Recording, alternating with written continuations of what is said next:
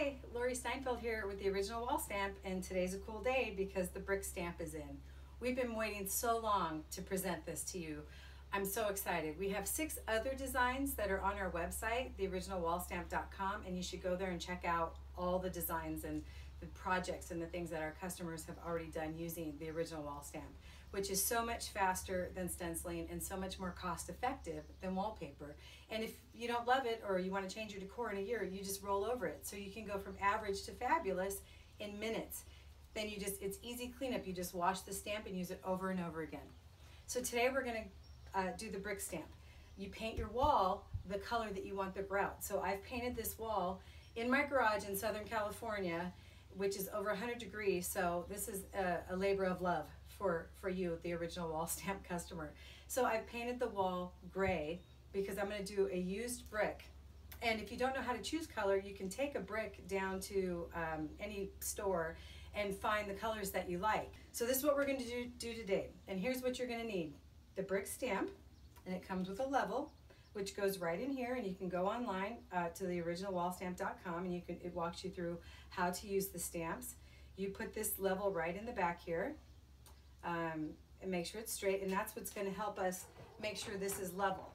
You get your level straight and then your stamp is, is also straight. But we're going to get going on this and we're going to watch this wall go from average to fabulous and you won't believe. Okay, here we are.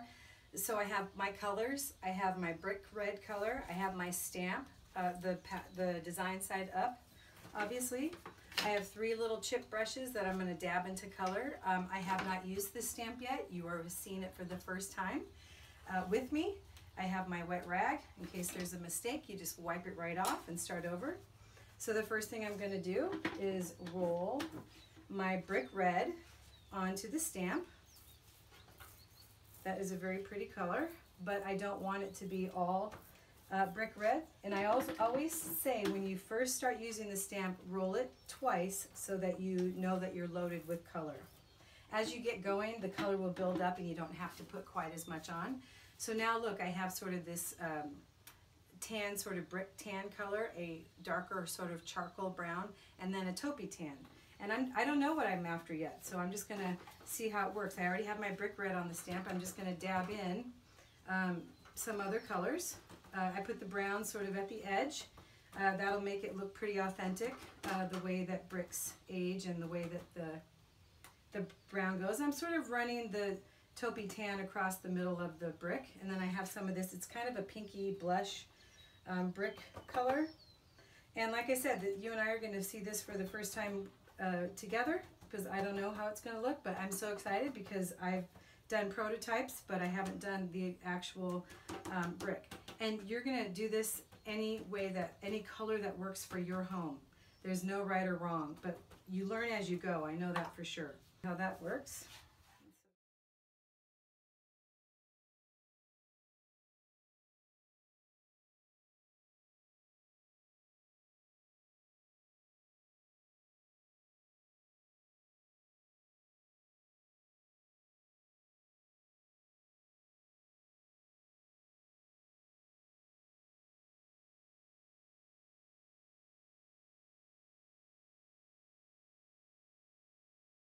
Want to stop for the, the time lapse for a minute. I want to show you how I figured out the color is I'm rolling it with the red brick. Um, you can go to any hardware store and find a color match whatever uh, you like. So this I picked this color which is sort of a burnt um, red orange. Then I am just dra dragging a little bit of this um, sort of a, a peachy tan brick color over the top of it.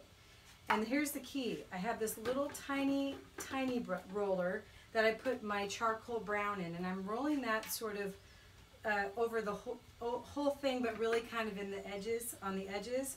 And that's giving it that sort of um, deeper look that I'm after. So again, I turned it back around.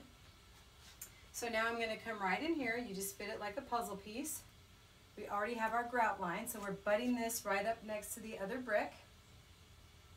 And we hold on to it and stamp. The other thing that I'm doing is I'm using it twice in areas that, like behind a couch or behind a hutch, that won't matter as much.